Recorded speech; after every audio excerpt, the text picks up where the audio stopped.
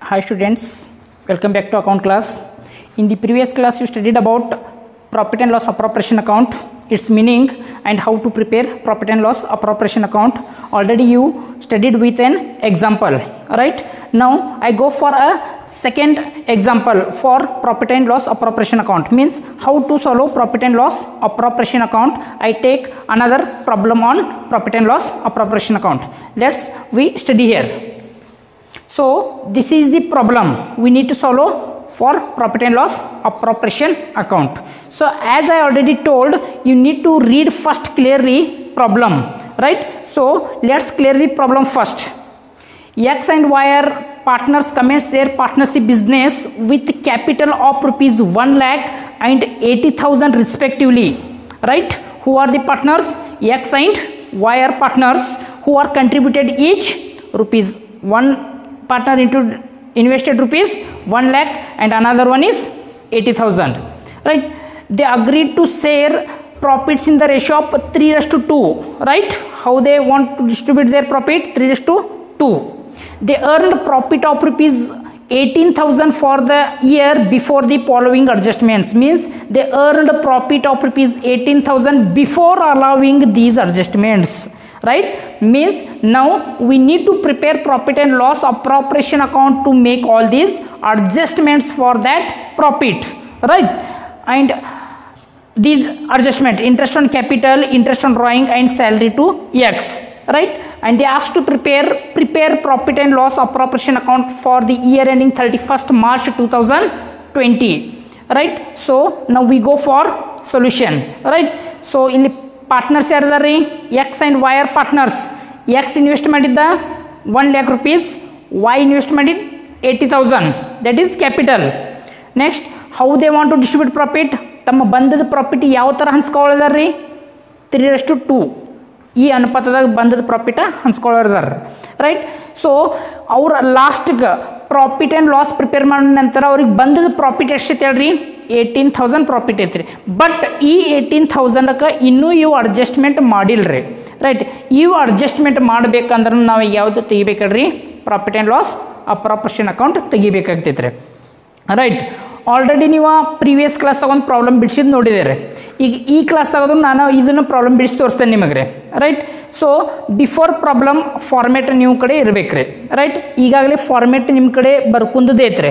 So ಅದನ್ನು ಮತ್ತೊಮ್ಮೆ ನಿಮಗೆ ರೀಕ್ಯಾಪ್ ಮಾಡ್ತೇನೆ ರೀ ಫಾರ್ಮೇಟ್ದಾಗ ನೋಡ್ರಿ ಕ್ರೆಡಿಟ್ ಸೈಡಾಗ ಎರಡು ಅಮೌಂಟ್ ಯಾವಾಗಲೂ ಬರ್ತಾವೆ ರೀ ಒಂದು ಪ್ರಾಫಿಟ್ ಆ್ಯಂಡ್ ಮತ್ತೊಂದು ಹೇಳ್ರಿ ಇಂಟ್ರೆಸ್ಟ್ ಆನ್ ಡ್ರಾಯಿಂಗ್ ಮತ್ತು ಕ್ರೆಡಿಟ್ ಸೈಡ್ ಕೊಡುವಂಥ ಹೇಳ್ರಿ ಲಾಸ್ ಇರ್ತಿದ್ರಿ ಬಟ್ ಯಾವುದು ಪ್ರಾಬ್ಲಮ್ ಬರಂಗಿಲ್ಲ ಅದನ್ನು ಬಿಟ್ಟು ಬಿಡ್ರಿ ಇಂಟ್ರೆಸ್ಟ್ ಆನ್ ಕ್ಯಾಪಿಟಲ್ ಒಂದು ಬರ್ತೈತಿ salary commission and interest on partners loan ಇವು ನಾಲ್ಕು ಯಾವಾಗಲೂ debit side ಬರ್ತಿರ್ತಾವ್ರಿ.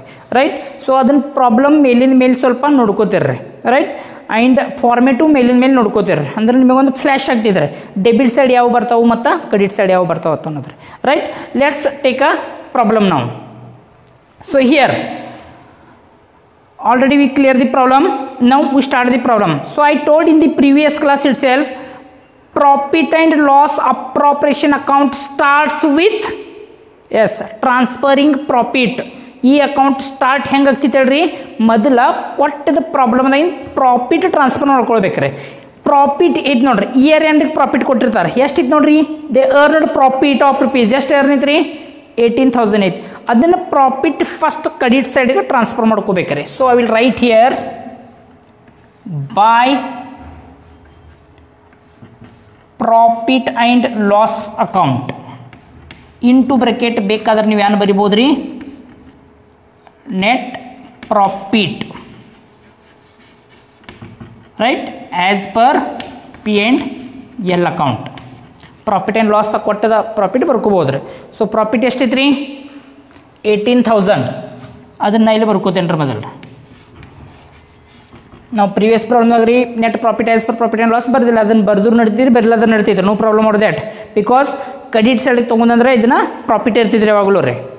So by P and L account into bracket profit as per profit and loss so what is the profit eighteen thousand ಈ profit ತಗೊಂಡ ನಂತರ ಅಡ್ಜಸ್ಟ್ಮೆಂಟ್ಗಳು ತೊಗೊಂಡು ಹೋಗ್ಬೇಕ್ರಿ. ಈಗ ಅಡ್ಜಸ್ಟ್ಮೆಂಟ್ಗೆ ಬರ್ಬೇಕು ಡೈರೆಕ್ಟ್ಲಿ ರೀ. So first adjustment ಯಾವುದೈತ್ರಿ?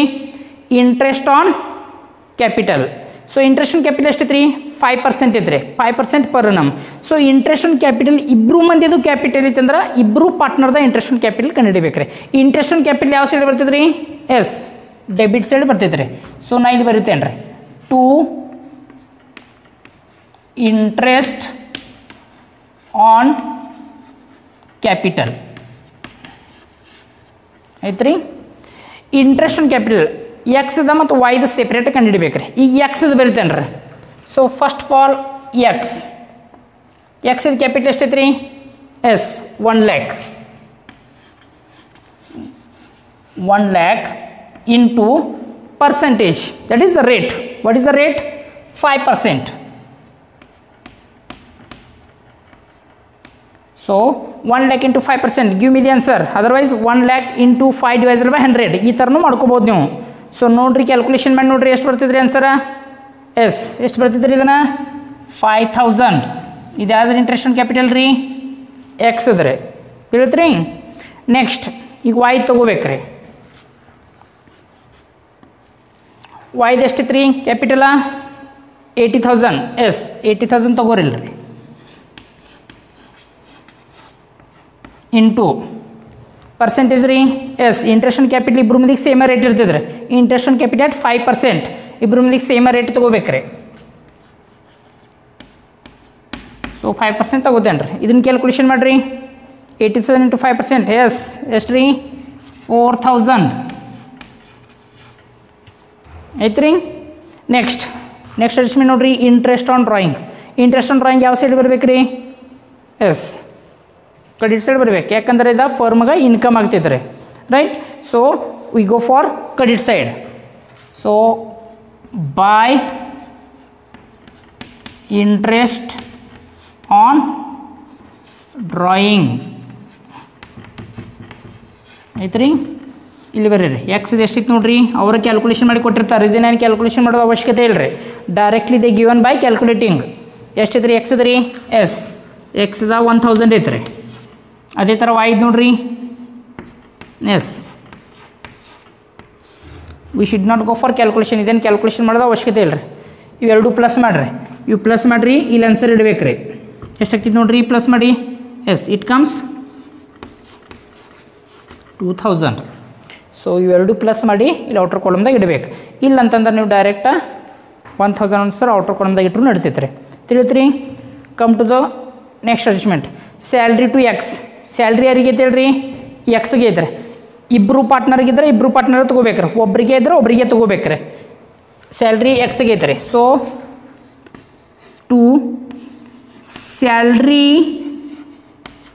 to whom ಯಾರಿಗೆ ಐತ್ರಿ? ಎಕ್ಸ್ ಇಲ್ಲಿ ಪಾರ್ಟ್ನರ್ ಹೆಸರು ಬರ್ಬೇಕು. ಯಾರಿಗೆ ಇರ್ತೈತ್ರಿ? ಬಟ್ ಇಲ್ಲಿ ಸ್ಯಾಲ್ರಿ ಬರ್ತೀವಿ ನೀವು ಲಕ್ಷದಾಗ ಇಟ್ಕೋಬೇಕಾದದ, ಅದು ಸ್ಯಾಲ್ರಿ ಪರ್ ಅನಮ್ ಐತ್ರಿ, ಏನು ಪರ್ ಮಂತ್ ಐತಿ ನೋಡ್ಬೇಕ್ರಿ. ವರ್ಷಕ್ಕೆ ಒಮ್ಮೆ ಐತ್ರಿ, ಏನು ಮಂತ್ ಒಮ್ಮೆ ಐತಿ ನೋಡ್ಬೇಕ್ರಿ. ಪರ್ ಮಂತ್ ಇದ್ರೆ ಅದಕ್ಕೆ ವರ್ಷಕ್ಕೆ ಮಾಡ್ಕೋಬೇಕ್ರಿ ನಾವು ಮಲ್ಟಿಪಲ್ ಬೈ ಟ್ವೆಲ್ವ್ ಮಾಡಿ. ಅದನ್ನ ಈಗ ಥಿಂಕ್ ಮಾಡಕ್ಕೆ ಹೋಗ್ಬೇಡ್ರಿ. ಈ ಪ್ರಾಬ್ಲಮ್ದಾಗ ಪರ್ ಇಯರ್ ಅಂತ ಕೊಟ್ಟಿದ್ದಾರೆ. ವರ್ಷಕ್ಕೆ ಒಮ್ಮೆ ಸಿಕ್ಸ್ ತೌಸಂಡ್ ಐತೆ. ಸೊ ನಾವು ಇಯರ್ ಎಂಡ್ಗೆ ರೀ ವರ್ಷದ ಕೊನೆಗೆ ಬಿಡಿಸಿರ್ತೀವಿ ಅದಕ್ಕೆ ಈ ಪ್ರಾಬ್ಲಮ್ ಎಲ್ಲ ವರ್ಷದೂ ಅಮೌಂಟ್ ಇರ್ಬೇಕು ರೀ. ಮಂತ್ದು ಯಾವ ಅಮೌಂಟ್ ಇರಬಾರ್ದು ರೀ. ಸೊ ಇದನ್ನು ವರ್ಷದ ಅಮೌಂಟ್ ಐತೆ ರೀ. ಅದಕ್ಕೆ ಏನು ಮಾಡ್ತೇನೆ ರೀ? ಸಿಕ್ಸ್ ತೌಸಂಡ್ ಡೈರೆಕ್ಟ್ಲಿನ ತೊಗೋತೇನೆ ರೀ. Right six thousand per year ತಿಳಿದ್ರಿ on capital interest on drawing salary ಮೂರು ಅಡ್ಜಸ್ಟ್ಮೆಂಟ್ ಇದಾವೆ ರೀ ಮೂರು ಅಡ್ಜಸ್ಟ್ಮೆಂಟ್ ತೊಗೊಂಡೇವೆ ರೀ ರೈಟ್ ಸೊ ಈಗ ಏನು ಮಾಡ್ಬೇಕ್ರಿ? ಮ್ಯಾಕ್ಸಿಮಮ್ ಟೋಟಲ್ ಯಾವ ಸೈಡ್ ಹೆಚ್ಚಾಗ್ತೈತೆ ರೀ ಎಸ್ ನೆಟ್ ಪ್ರಾಫಿಟ್ ಎಂದ್ರೆ ಕ್ರೆಡಿಟ್ ಸೈಡೇ ಹೆಚ್ಚಾಗ್ತೈತೆ ರೀ ಸೊ ಕ್ರೆಡಿಟ್ ಸೈಡ್ ಟೋಟಲ್ ಮಾಡಿರಿ. Eighteen thousand plus two thousand ಎಷ್ಟು ರೀ? ಟ್ವೆಂಟಿ ತೌಸಂಡ್ ಅದನ್ನು ಸೇಮ್ ಟೋಟಲ್ ಇಲ್ಲಿ ಇಟ್ಬಿಡ್ರಿ. ಟ್ವೆಂಟಿ ತೌಸಂಡ್ ಈ ಟ್ವೆಂಟಿ ತೌಸಂಡ್ದಾಗ ರೀ ಇವು ಮೈನಸ್ ಮಾಡೋದಂದ್ರೆ ನಮಗೆ ಡಿಫ್ರೆನ್ಸ್ ಎಷ್ಟು ವ್ಯತ್ಯಾಸ ಕಡಿಮೆ ಬೀಳಾಗ್ತಿ ತಿಳಿದಿದ್ರೆ. ಎಷ್ಟು ಡೆಬಿಟ್ ಸೈಡಾಗ ಡಿಫ್ರೆನ್ಸ್ ಐತಿ ಕಡಿಮೆ ಬೀಳಾಗ್ತಿ ತಿಳಿದಿದ್ರೆ. So twenty thousand minus six thousand then minus 4000 next minus 5000 right? So, you please go for calculation here. Calculation ಮಾಡಿರಿ ಎಷ್ಟಾಗ್ತಿತ್ತು ನೋಡ್ರಿ? ಟ್ವೆಂಟಿ ತೌಸಂಡ್ ತೊಗೊಂಡ್ರಿ. ಈ ಟ್ವೆಂಟಿ ತೌಸಂಡ್ ರೀ ಮೈನಸ್ ಮಾಡ್ರಿ. ಎಷ್ಟು ರೀ yes difference is five thousand ಮತ್ತು ಈ ಡಿಫ್ರೆನ್ಸ್ಗೆ ನಾವೇನತ್ತ ಅನ್ಬೇಕು ಹೇಳ್ರಿ ಈ ಡಿಫ್ರೆನ್ಸ್ಗೆ ಪ್ರಾಫಿಟ್ ಅಂತ ಅನ್ನಬೇಕ್ರೆ ಈ ಪ್ರಾಫಿಟ್ ಎಲ್ಲಿ ನಾವು ಟ್ರಾನ್ಸ್ಫರ್ ಮಾಡ್ಬೇಕು ಹೇಳ್ರಿ ಎಸ್ ಪಾರ್ಟ್ನರ್ಸ್ ಕ್ಯಾಪಿಟಲ್ ಅಕೌಂಟಿಗೆ ಟ್ರಾನ್ಸ್ಫರ್ ಮಾಡ್ಬೇಕ್ರೆ. ಸೊ ಅದಕ್ಕೆ ಇಲ್ಲಿ ನಾ ಪ್ರಾಫಿಟ್ ಬರೋ ಜಾಗದಾಗ ಏನು ಬರಿತೇನೆ ಹೇಳ್ರಿ? To partners capital account write into bracket ನೀವು ಏನು ಮಾಡ್ಬೋದಲ್ರಿ? It is profit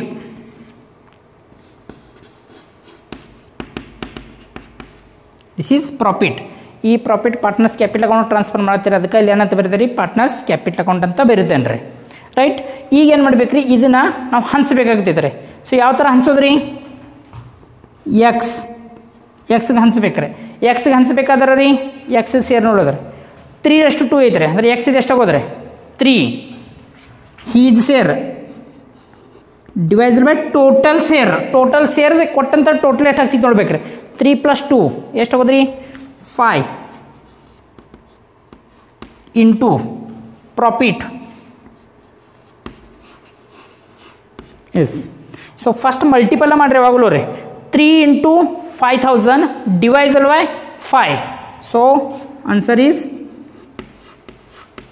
three thousand next Y ವೈದು ಸೇರಿ ಎಷ್ಟೈತೆ ರೀ two divide by five into total profit five thousand so two into five divisor by five ಮಾಡ್ರಿ ಎಷ್ಟು answer is two thousand this is the profit of X and this is the profit of Y this is the appropriation of profit appropriation of profit ಇದನ್ನು distribution profit ಮಾಡಿದ್ದಾರೆ. That's why profit and loss appropriation account ಈ account ಏನು ತೋರಿಸ್ಕೊಡ್ತೈತೆ ಅಂದ್ರೆ ರೀ how we appropriate profit among the partners right ಈ account ತೋರಿಸ್ಕೊಡ್ತಿದೆ ಹೇಳ್ರಿ. ಬಂದದ ಪ್ರಾಫಿಟ ಪಾರ್ಟ್ನರ್ಸ್ಗಳಿಗೆ ಯಾವ ಥರ ಡಿಸ್ಟ್ರಿಬ್ಯೂಷನ್ ಮಾಡ್ತೀವಿ ಅನ್ನೋದ ತೋರಿಸ್ಕೊಡ್ತೈತೆ ರೀ ಸೊ ಅದಕ್ಕೆ ಈ ಅಕೌಂಟಿಗೆ ಏನು ತೆಗೆದ್ರಿ profit and loss appropriation account right profit and loss appropriation account because two marks question ಕೇಳ್ತಿರ್ತಾರೆ. What is profit and loss of appropriation account ಅಥವಾ give the meaning of profit and loss of appropriation account ಅದನ್ನು ನೀವು ಈಸಿಯಾಗಿ ಏನು ಮಾಡ್ಬೋದು ರೀ ಆ ಅಕೌಂಟ್ದಾಗ ಏನು ನೀವು ಲಾಸ್ಟಿಗೆ ಮಾಡ್ತೀರಿ ಅದನ್ನು ಬರಿಬೇಕಾಗ್ತದೆ so profit and loss appropriation account is an account which shows appropriation of profit and loss which shows appropriation of profit and loss among the partners. Among the partners this you can simply give the meaning of profit and loss appropriation account so in the accountancy whenever you give the two, an- two marks answer then 90% it depends upon the problematic part ಪ್ರಾಬ್ಲಮ್ದಾಗ ಏನು ಬಿಡಿಸಿರ್ತಿರಲ್ಲ ಅದಕ್ಕೆ ಸಂಬಂಧಪಟ್ಟಂತೆ two marks question ಇರ್ತಾವ್ರೆ profit and loss of appropriation account ಅಂದ್ರೆ ಏನ್ರಿ so ಇಲ್ಲೇನು simply ನೀವು ಆ ಪ್ರಾಬ್ಲಮ್ದಾಗ ಏನು ಬಿಡಿಸ್ತಿರಲ್ಲ ಅದನ್ನು ನೀವು ವಾಕ್ಯದಾಗ ಕೊಟ್ಟು ಬಿಡ್ಬೇಕ್ರಿ ಅದನ್ನು ವಾಕ್ಯ ರೂಪದಾಗ ಬರೆದು ಬಿಡ್ಬೇಕ್ರಿ right so ಅಂಡರ್ಸ್ಟುಡ್ನ profit and loss appropriation account is an account which shows appropriation distribution ಹಂಚೋದ್ರೆ of profit among the partners right and also you can give it is the extension of as profit and loss ತಿಳಿತ್ರಿ ಇದು problem right so previous ಕ್ಲಾಸ್ದಾಗ ಒಂದು problem ಬಿಡಿಸಿದೇವ್ರಿ. ಈ ಕ್ಲಾಸ್ದಾಗ ಒಂದು problem ಬಿಡಿಸಿದೇವ್ರಿ. So ಇವು ಎರಡೂ problem correctly ನೀವು ಒಮ್ಮೆ British ಹೇಳ್ರಿ? ಬಿಡಿಸಿ ನೋಡ್ರಿ ರೈಟ್ ಓನ್ಲಿ ಕ್ವಶನ್ ಅಷ್ಟೇ ನೋಡ್ರಿ. ಕ್ವಶನ್ ನೋಡಿ, ಅದನ್ನು ನೀವು ನೋಡಲ್ದೆ ನೋಡ್ರಿ ಮತ್ತೊಮ್ಮೆ ಬಿಡಿಸಿ ನೋಡ್ರಿ. ಬಿಡಿಸಿದ್ನೆ ಎಲ್ಲಿ ನೀವು ಸ್ಟ್ರಕ್ ಆಗ್ತೀರಿ? ಎಲ್ಲಿ ನಿಲ್ಲಾಗ್ತೀರಿ? ಎಲ್ಲಿ ನಿಮಗೆ ಪ್ರಾಬ್ಲಮ್ ಬರಾಗ್ತೈತಿ ಅದನ್ನು ಮತ್ತೆ ನಾ ಬಿಡಿಸಿದ್ದು ನೋಡ್ಕೋರಿ. ಆದ ನಂತರ ನೆಕ್ಸ್ಟ್ ವಿಡಿಯೋದಾಗ ಮತ್ತೊಂದು ಪ್ರಾಬ್ಲಮ್ನ ಬಿಡಿಸ್ತೇನೆ ರೀ. ಅದನ್ನು ಅಲ್ಲಿ ನೀವು ಕ್ಲಿಯರ್ ಮಾಡ್ಕೋಬೋದು ರೀ ರೈಟ್ ತಿಳಿದ್ರಿ, ಇವೆರಡೂ ಪ್ರಾಬ್ಲಮ್ ಸ್ವಲ್ಪ ಪಿ ಎನ್ ಅಪ್ರಾಪ್ರೇಷನ್ ಮ್ಯಾಗ ಕೊಟ್ಟದು correctly ನೋಡ್ಕೋರಿ right so in the next class we go with another problem on profit and loss appropriation account right still then